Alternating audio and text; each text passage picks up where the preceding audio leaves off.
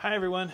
We are back again this month with another Redeemer book club, uh, and which is not really a club, but it's more just kind of to show you what either me or someone else on our staff is currently reading at the time and because we want to encourage you in your learning and reading and growth as people of god and as leaders and as parents and as whatever the lord is calling you to do. And um, uh, and so it's good for us to engage with new ideas and new voices. And so uh, so i want to share with you what i'm currently reading right now. This happens to be one of my favorite books. I have in the past called this book uh, probably the most formative book I have ever read outside of the Bible itself, which is that's a pretty significant thing to say.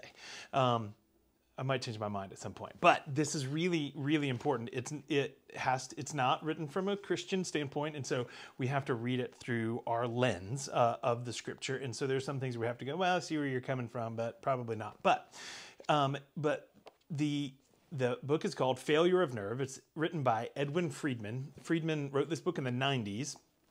Um, he was he was a rabbi um, and uh, and a business consultant, worked in, in, government consultant, and worked with a lot of different folks, um, talking about systems within organizations and organizations meaning everything from a family that lives in a house together to a society at large. So anybody who's interacting with one another. And he bases a lot of his work on family systems theory, or what's also called Bowen theory. Um, uh, there's one of the uh, podcasts that we did on the Always Forward podcast that some of you have listened to that we do with my role with the with the province. We talk about this, and so it might be a, a place for you to go and learn some more if you'd like. But um, the uh, the premise of the book is really to help understand that that anxiety and that doesn't mean just worry. That's a it's an aspect of, of stress and it's a really a, a heightened state of being uh, is not just in our minds um, but and not even necessarily within us. It's something that happens between us and so systems and how we deal with our interactions with one another, our um, our own opinions versus other people's opinions, um, how we take responsibility for our own emotional state as well, are all factors in how healthy we're going to be as a as a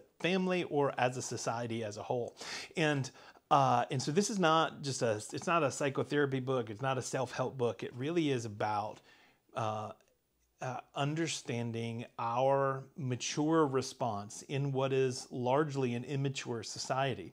And the way that he describes maturity is taking responsibility for your own emotional state. And so instead of um, what he calls reactivity, so we hear something that we disagree with or or even could be painful and we just react to it uh, and hurting where then we gather other people around us to try to support our views and then there's a, a um, blame shifting where we say i'm feeling bad and so instead of saying why why am i reacting this way to what i'm hearing? instead we uh, we find got to find who's causing us to feel this way right? It's it's always outward. And so we blame shift and then um, we have a quick fix mentality. So um, we've got to remove the person or the institution or the the the thing that we think is causing this pain or we need to sue the doctor that didn't that didn't meet our needs in the way that we want to. It's a quick fix. If we just fix that then it's going to help us never does. We then just move on to the next thing that we get anxious about and blame shift and all those sort of things as well. And then ultimately, what that results in is what he calls a lack of, of well defined leadership. And so he calls, he says that what we really need are leaders, and leaders aren't just positional leaders, not just politicians or pastors or, but anyone who is a, is, is a person of influence. And that means anyone in an, in an organization that can, that can, uh, can be bold about the, the principles of right and wrong and about uh, how to take a well-defined stand um, that that remains emotionally connected with others, but then also pursues the right thing as well, rather than simply being reactive and uh, and so what he what he ultimately calls a non-anxious presence, and so that's a very very brief overview of just the beginning parts of this.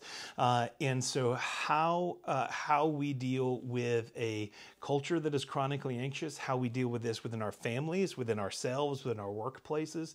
Uh, he talks about having a little bit of a higher tolerance for for pain um, and a difference between that something can hurt but not harm as well.